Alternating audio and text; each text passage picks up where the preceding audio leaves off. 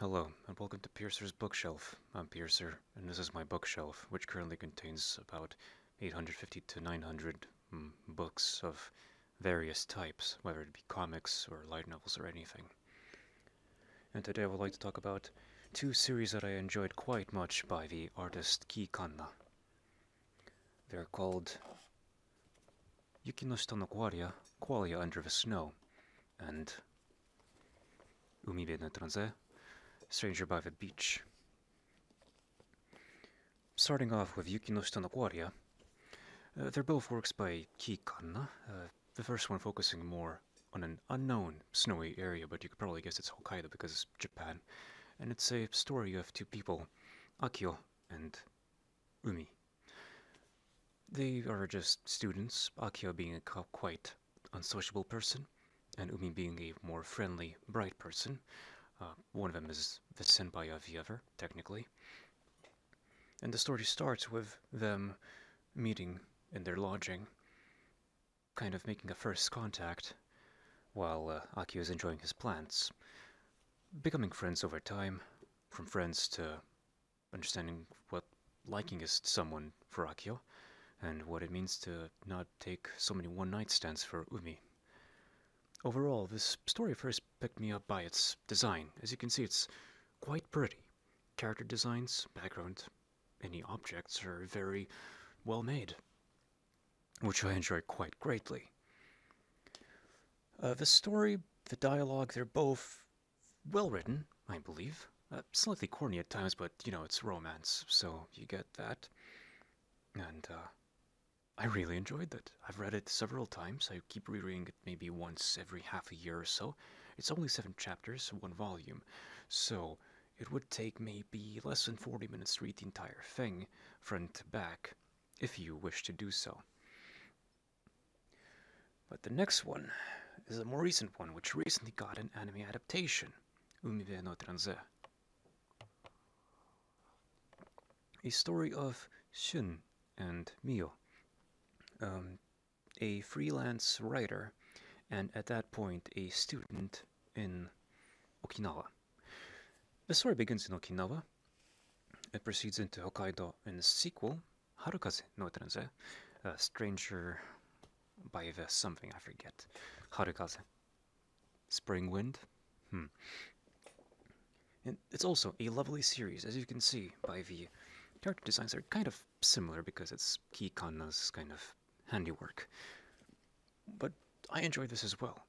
While Yuki no Shita focused more on an antisocial character's ow, on antisocial character's development into enjoying people, going from uh, being asked by this professor to go to the club meetings or the class meetings and saying, No, I don't want to.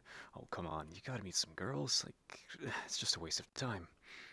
From that kind of character to actually enjoying people's company, becoming warmer, talking to others, warming up. This already starts with fairly social characters, except for um, some minor personality traits.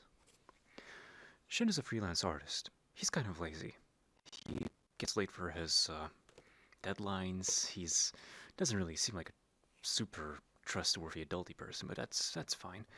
He meets Mio by the seaside by the beach, uh, staring at the beach from a bench. Tries to talk to him, become friends. Um, of course, Mio didn't know that Shun is gay, and Shun didn't really want to push that onto Mio, but they started flirting, became good friends, and then Mio had to leave for um, the mainland. Because, well, he was still a student at that point. From then on, it becomes a relationship of Mio coming back to Okinawa, meeting Shun, and kind of a understanding of what it means to be gay for them. Mio likes girls, but he also likes Shun. Specifically Shun. Gay for Shun, I guess. But cute. That is as much as I can say without going into many spoilers. I've already spoiled another thing uh, by saying it's me on Yuki no Shita no Qualia's character name. So what do I like about these outside of a synopsis? Because it's, well, it's pretty good still. Uh, the art is pretty good. The background designs, character designs, uh, the interpersonal developments for the relationships are pretty nice. They're not too cartoony, but they're not too real, but can be real enough at some points where it's important. Uh, while they're technically both yaoi, Yuki no Shita is more of a shonen ai due to the, well, lack of sexual acts, while uh, Umibe has one sex scene and a lot of kissing, while Harukaze has way more of those. Despite that, they're not mature, they're more PG 13. Yeah, which is yeah, fine if you want to read it and you're still a teenager or something, but yeah. So, why am I making this video? This got an anime adaptation, a 60 minute OVA, available only in some theaters in Japan currently. Um, I went to the Shinjuku one. It was pretty good. it Cost like fucking $18 for 60 minutes, though. Uh, with fairly famous Tsugutsuga as one of the voice actors. that was pretty funny. Um, which also adapted the story pretty well. Uh, most of the scenes, the plot points of Umibe no were properly transmitted, some of them even better than the manga. Um, I felt like it missed something, but I'm not sure what, because it was enjoyable overall. Um, and I'm surprised that they included this gay sex scene, which did not really show penetration or anything, but mm, by what you can see, like two uh, topless torsos on each other on bed, you can kind of imagine what's going on.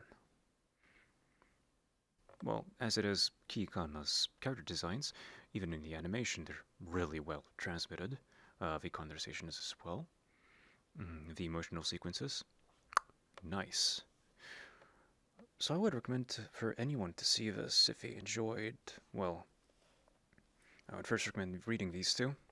And if you enjoy them, they, like, go and see the video once it comes out eventually. Maybe, if it does. If not, well, shame. It was quite good. I do have other series I would also recommend, but not this time. This is a focus on Kii Kanna's works, specifically these two, for the time being. Have a good day.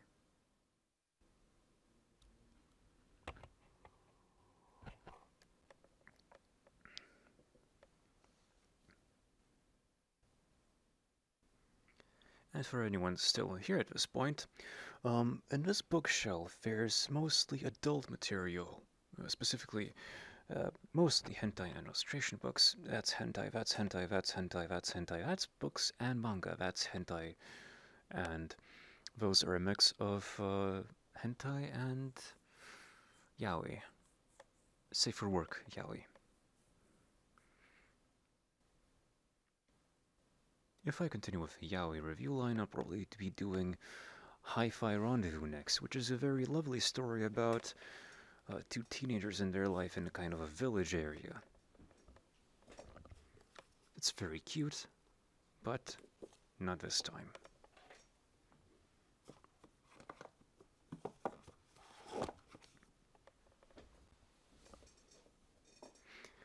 And this is the actual end. Goodbye.